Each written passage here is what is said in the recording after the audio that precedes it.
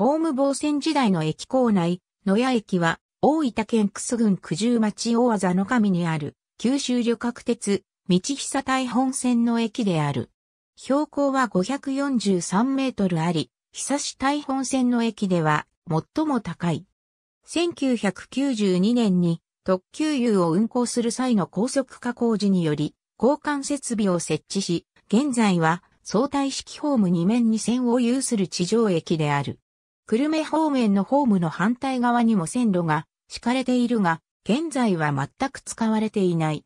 互いのホームは校内踏切で連絡している。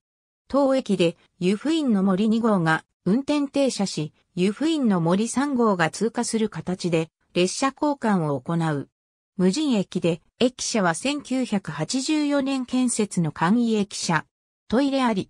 1965年度には乗車自民が96,936人、降車自民が96,287人で手荷物や小荷物も取り扱っていた。2015年度の乗車人員は2,444人、降車人員は4,516人である。1日平均乗車人員の数値は各年度版大分県統計年間による年間乗車人員の値を各年度の日数で割った値。駅の周辺には 0.5km 先に国道210号がある。また、駅前を大分県道710号電野の上線が通っている。周囲は比較的小さな集落があるのみである。ありがとうございます。